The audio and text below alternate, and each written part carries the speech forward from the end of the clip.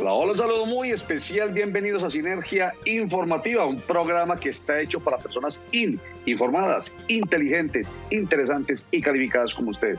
Información política y administrativa que es de interés general. Todo lo que nos pase tiene que ver definitivamente con esas decisiones, la solución a nuestros problemas y por supuesto la satisfacción de nuestras necesidades. Por ejemplo, hoy es 25 de noviembre y es el Día Internacional de la Eliminación de la Violencia contra la Mujer. Por parte de cada uno de nosotros tiene que haber un compromiso para que no haya violencias basadas en género. Pero por supuesto que nuestras administraciones, tanto nacional como departamentales como locales, tienen programas y proyectos que tienen que ver con esto. Pero esto va a ser enseguida de esta información. La presidenta de la Cámara de Representantes, Jennifer Arias, tendría que responder por el supuesto plagio que había eh, cometido en su tesis de, de maestría, eh, informando, informado por la Universidad Externa de Medellín ante la Corte Suprema de Justicia. Esa es la noticia. El propósito de la Corte Suprema de Justicia es recolectar pruebas y determinar si en realidad hubo un presunto delito o no lo hubo y en consecuencia avanzar en una investigación formal o archivar el caso. Gilberto Tobón Sanín espera llegar al Senado de la República por el movimiento Fuerza Ciudadana. Precisa que no va a ser candidato por el pacto histórico.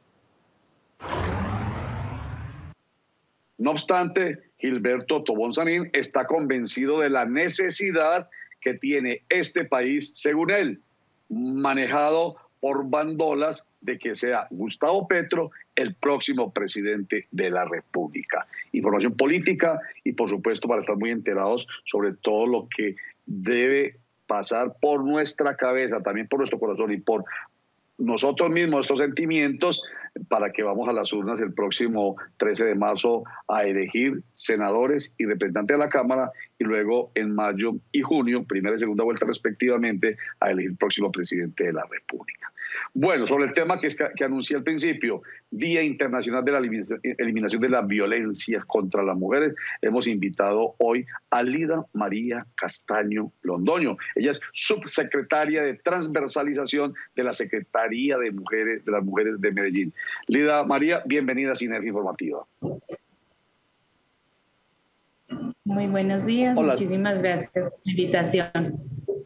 Qué rico que esté con nosotros. Bueno, empecemos pues contando rápidamente que este 25 de noviembre, según la ONU, ha sido declarado para visibilizar y reflexionar y erradicar todas las formas de violencia contra las mujeres.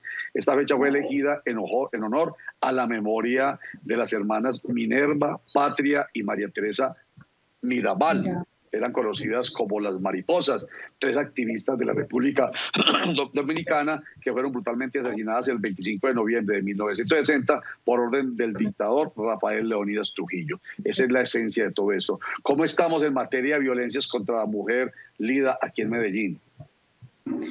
Bueno, justamente eh, esta mañana tuvimos, eh, desde la Secretaría de las Mujeres, tuvimos el Consejo de Seguridad Pública para las Mujeres en presencia del señor alcalde, la Secretaría de las Mujeres, Ana María Valle, instituciones como Medicina Legal, Policía, eh, Defensoría del Pueblo, ONU Mujeres también está, hacemos un trabajo articulado desde desde el Consejo de Seguridad Pública, donde hicimos todo un análisis y una revisión y un seguimiento a distintos compromisos frente a las violencias contra las mujeres.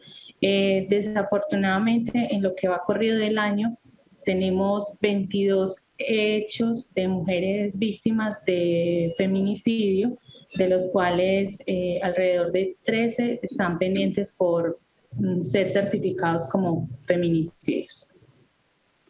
O sea, no siempre que una mujer es asesinada es feminicidio, ¿cierto, Lida? Depende de las causas. Hay que, hay que hacer un proceso investigativo para poder determinar cuándo es y cuándo no es feminicidio.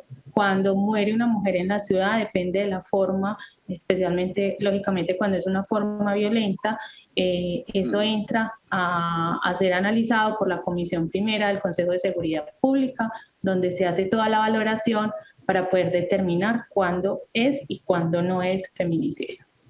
Y cuando se determina que es un feminicidio, hay un agravante. O sea, la persona que sea eh, mm, finalmente responsabilizada tiene un agravante eh, por haber matado, no sé cuál es la circunstancia especial, por celos, por ser mujer, precisamente, eh, etcétera, desde el punto de vista penal, desde el punto de vista punitivo. Sí, se hace pues ya todo el proceso investigativo, porque eso corre ya todo el proceso investigativo.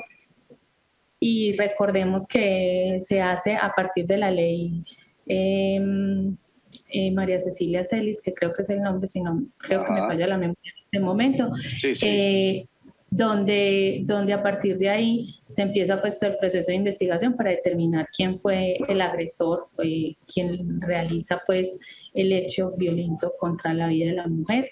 Adicionalmente, desde la alcaldía de Medellín, el señor alcalde eh, ha tomado una gran decisión y es que se ha venido fortaleciendo todos los mecanismos de atención, pero adicionalmente se brinda recompensas hasta el por doble para poder encontrar a los culpables de estos hechos violentos contra las mujeres. Ah, ahí está el ejemplo de mi pregunta en respuesta. Recompensa hasta por el doble, o sea que sí hay un agravante el hecho de que sea un feminicidio. Datos como estos, Lida María, y amables, inteligentes, interesantes y calificados televidentes e internautas de Sinergia Informativa. Según la UNO, el 35% de las mujeres ha experimentado alguna vez violencia física o sexual por parte de su pareja íntima. Es demasiada gente, estamos hablando de todo el mundo. Por motivo de la pandemia del COVID-19, en algunos países el número de llamadas a las líneas telefónicas de asistencia se ha quintuplicado. Eso ha, ha pasado aquí, Lida María, puesto que sabemos que uno de los programas tiene que ver con el 123 Mujer, que tiene que ver con la atención psicosocial. Se quintuplicó, se multiplicaron en todo caso las llamadas a esta línea en esta época de pandemia? Sí, claro que sí. Eh, la pandemia obviamente generó un, un impacto alto en la recepción, obviamente, de llamadas y de atenciones que tuvimos eh, desde el año pasado por la pandemia, porque evidentemente las mujeres eh, estuvieron muchísimo más tiempo en su casa con sus agresores. Eh, lo cual pues obviamente desbordó de forma considerable las llamadas a, la agencia mujer que funciona a través del 123. Y aprovechemos precisamente, Lida María, para que hablemos de los cuatro mecanismos, de las cuatro herramientas que tiene la alcaldía de Medellín a través de la Secretaría de las Mujeres para atender a las víctimas de las violencias de género en la ciudad. Bueno, la Secretaría de las Mujeres, en un acto de proteger la vida de todas las mujeres, cuenta con cuatro mecanismos de atención. El primero de ellos es Agencia Mujer, eh, que es la línea 123, donde brindamos toda la atención de emergencia, o sea, cuando una mujer sienta que su vida corre peligro, que está en riesgo, que es algo inminente, inmediatamente se puede comunicar para poder eh, recibir toda la ayuda. Eso va en acompañamiento con la policía y con una psicóloga, una abogada. Se activan todas las rutas de atención. Eh, y se determina y se hace una valoración del riesgo, eh, se llega al lugar, se brindan todos los acercamientos de la oferta que tenemos como Secretaría y como institucionalidad a la mujer eh, y la ayudamos en los traslados que sea necesario para cuando la mujer sí decide en ese momento hacer la denuncia y hacemos todo el acompañamiento para poder atender la emergencia. Ese es el primero, ese es en los casos ya de emergencia que sean pues algo muy de alto riesgo.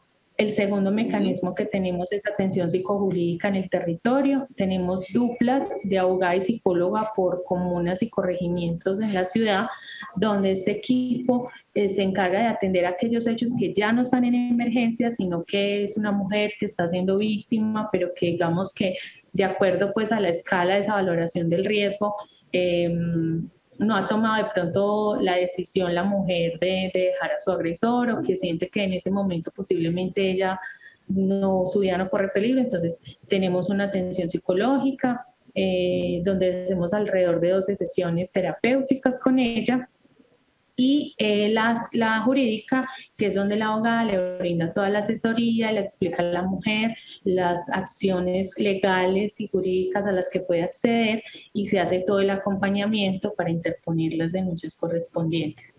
Luego tenemos otro mecanismo, que es el tercer mecanismo, que es hogares de acogida.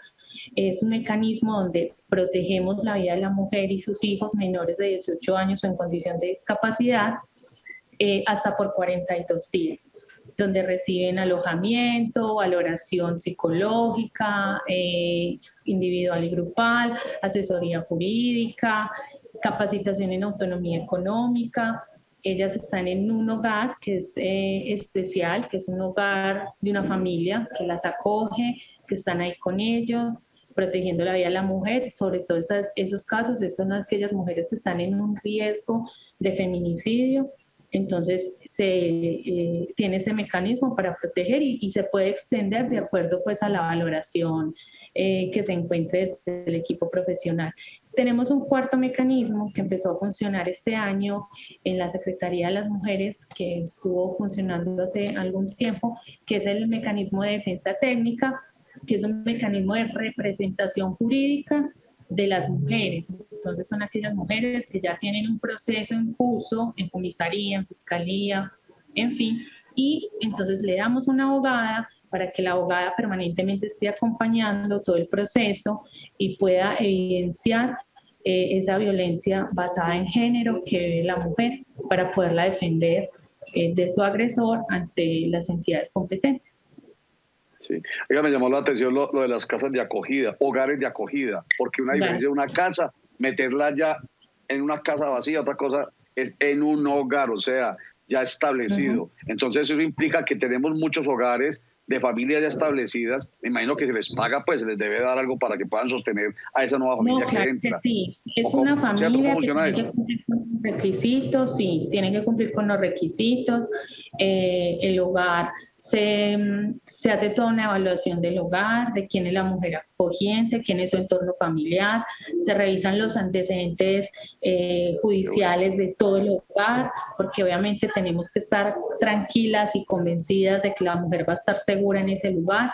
Eh, se hace todo un acompañamiento, el equipo profesional permanentemente está ahí también revisando las condiciones de la mujer, tiene su habitación, con sus hijos, se habilita, pues tienen habilitados los hogares y a ellas obviamente, a las, a las familias acogientes, claro, se les hace un pago por esa labor porque tienen que tener todas las medidas de, de, cuidado hacia la mujer, pero sobre todo también de autocuidado hacia la familia. Eh, y discrecionalidad frente a la información, porque pues nosotros nunca, nunca publicamos dónde están los hogares y tampoco nunca pasamos la información de, de, las mujeres que atendemos desde los diferentes mecanismos porque se trata es precisamente de proteger la vida de las mujeres. Qué maravilla. Eh, eh, una noticia muy buena, yo no sabía eso realmente, pero es maravilloso. Oiga, y en todos los estratos, porque se supone que alguno uno piensa, uno tiene el imaginario de que la violencia contra la mujer es en estratos bajos. No, por supuesto que es en toda la sociedad en general. Entonces, esos hogares de acogida son en todos los estratos. Los hogares de acogida están ubicados estratégicamente en distintos eh, lugares de la ciudad y en la zona rural. Eh, ah. Para nosotros como secretaría es indiferente el estrato social que la mujer eh, tenga, y puede hacer la denuncia tranquilamente. ¿Qué sucede? Que muchas veces las mujeres que son víctimas y que posiblemente sean mujeres, como se llaman, de estrato alto, son las que no denuncian eh, no buscan estas eh, ayudas que tenemos como administración o posiblemente buscan otras ayudas de manera ya más particular o con sus redes de apoyo, porque también hay muchas mujeres, ya extracto alto o no, eh, las mujeres también buscan mucho cuando ya son conscientes de que deben de salir de ese entorno y alejarse del agresor, buscan un entorno protector en sus familiares, en sus amigos, etcétera. Última pregunta. ¿Vale la pena denunciar? ¿Vale la pena que la mujer agredida o un familiar o un vecino denuncien y que llamen a dónde? Sí. Bueno, eh, primero que todo, pues eh, si en algún caso alguna mujer tiene algún hecho de violencia y cree que su vida corre peligro, se puede comunicar a la línea 123 en caso de emergencia. Si realmente lo único que quiere es recibir como una atención, porque la violencia se puede dar de muchos niveles, de forma verbal, pero eso puede ir escalando. Nosotros tenemos eh, unas valoraciones, pero si la mujer dice, bueno, esta persona o esta pareja, que no solamente sea por la pareja o la expareja, porque creo que también es importante mencionarlo, eh, es simplemente por la condición de yo ser mujer, que posiblemente pueda ser violentada y que de hecho lo somos las mujeres en la ciudad o en el mundo. Eh, la mujer si de pronto evidencia que hay algo que no está funcionando bien en su entorno, eh, se puede comunicar a la línea 385-5552, que es la línea que tenemos de teléfono fijo para atención psicojurídica en el territorio, o al correo electrónico atención a la línea de WhatsApp 321-467-7071 o 305-319-2872.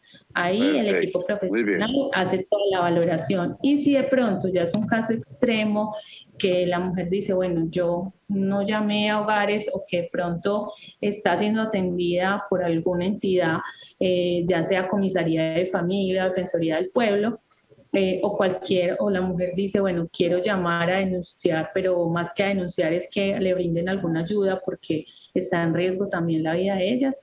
Eh, también se puede comunicar a la agencia mujer o ya en hogares de acogida tenemos unos teléfonos de atención eh, que es el 301-267-5489 y 301-267-7423. Esos son los números para comunicarse a hogares de acogida. Eso obviamente hacen toda una valoración del riesgo y hay que cumplir con unos requisitos para poder determinar ingreso al hogar. Listo, Lida Marcela Castaño Londoño. Lida María Castaño Londoño, subsecretaria de transversalización de la Secretaría de las Mujeres de Medellín. Esos números y esos datos los tendrán ustedes en www.cinefinformativa.com.co, donde va a aparecer esta nota ya en detalle. Muchísimas gracias, Lida María. Con muchísimo gusto, que estén muy bien y los, los invitamos a todos y a todas a, proteger la vida de las mujeres, de nuestras niñas, de nuestras mujeres, de nuestras madres, hermanas, amigas, de todas. Así será. Vamos a un corte para mensajes, ya regresamos. El alcalde de Medellín y presidente de la Junta Directiva de EPM, Daniel Quintero Calle, anunció que ya se hizo la prórroga, o por lo menos se les presentó a los contratistas la propuesta de prórroga por ocho meses más. Recuerden que este 31 de diciembre termina, digamos, el periodo del contrato que en estos momentos existe entre EPM, contratista, y los subcontratistas, que son los, constructores, interventores, diseñadores de Hidro Tuango. El alcalde dice que ahí está el documento en la mesa de los contratistas, pero que no lo han firmado. Daniel Quintero Calle. Ellos ya tienen una propuesta de prórroga en su escritorio, los contratistas, de ocho meses. No la han firmado. Estamos haciendo votos para que la firmen, porque no podrían ni mal harían en no firmarla o presionarnos hasta el último minuto, hasta el último segundo. El alcalde de Medellín y presidente de la Junta Directiva de EPM dijo que existe un plan que se llama Mirellas, un plan de contingencia, plan Mirella, en caso de que la Contraloría General de la República en segunda instancia declare responsables a, los, a las 26 personas naturales y jurídicas responsables de detrimento, eh, de daños y de lucro cesante en Hidroituango. Alcalde. El plan Mirella es un plan de contingencia, de choque, para el momento en que eventualmente haya un fallo de la Contraloría, el proyecto continúe su operación con las capacidades internas de EPM hasta cuando haya un nuevo contratista, insisto, en caso de que haya un fallo condenatorio. En todo caso, dice Daniel Quintero Calle, que en estos momentos EPM no depende totalmente de los contratistas que ya han evolucionado con el ingreso de otros contratistas. ¿De qué se trata, alcalde? Ya ellos no son los únicos constructores de Hidroituango, ya no están solos. ¿Qué hemos hecho en todo este periodo de tiempo? Reducir la dependencia del contratista principal que era Camargo Correa Brasilera con Concreto y con INSA. Entonces hoy tenemos a General Electric, por ejemplo, en un frente independiente. Hoy tenemos a otros proveedores en frentes independientes. Entonces eso hace que sea menos, que nuestra dependencia sea menor sobre los actuales. Y el plan Mirella de alguna manera lo que hace es que en caso de que haya una sanción y todavía no hayamos terminado la licitación o no haya sesión, recuerden que ellos fueron los que no, fueron los que no quisieron ceder, entonces nosotros lo que hacemos es que utilizamos las capacidades internas que están en, campo, más las capacidades de EPM, para mantener la operación hasta cuando termine la licitación. Bueno, y aquí el alcalde Daniel Quintero y presidente de la Junta Directiva de EPM nos cuenta qué es lo que falta para que realmente a mediados del año entrante entren en funcionamiento dos unidades de las ocho de Hidroituango. Una vez estén los soportes de concreto, General Electric empieza a poner toda la parte electromecánica. ¿Cierto? Esos soportes de concreto van a estar terminados en febrero. Deberían estar terminados en enero. Entonces vamos a tomar un mes más. Vamos a terminarlos en febrero. Una vez ellos tienen los concretos de febrero, nosotros empezamos a poner la parte electromecánica con otros contratistas que ya están contratados, que ya están en planta, que se llama General Electric, una de las compañías más grandes del mundo. Entonces, ahí ya no necesitamos más a esos contratistas para la turbina 1. Para la turbina 2 necesitamos lo mismo, llegar hasta soportes. Eso lo lograríamos en junio. Entonces, realmente, por eso no necesitamos llegar hasta diciembre con ellos. Muy bien. Palabras más, palabras menos, pues va todo por buen camino. No obstante, la espada de Damocles que está encima del proyecto hidroeléctrico Ituango, que es la decisión que tome la Contraloría General de la República en segunda instancia de declarar o no la responsabilidad fiscal de 26 personas naturales y jurídicas en la construcción, el diseño y la construcción, la interventoría del proyecto hidroeléctrico Ituango, que debe empezar de las, a decir, de las ocho turbinas debe empezar a poner en, funcionamiento dos después de junio, Dios mediante, del año 2022. Corte para mensajes. Recuerden, muchachos y muchachas, 7.900 cupos aquí en Antioquia, 74.000 cupos en toda Colombia para ser parte de la familia SENA, facilísimo, para programas de tecnologías, técnicos, operarios, auxiliares de profundización.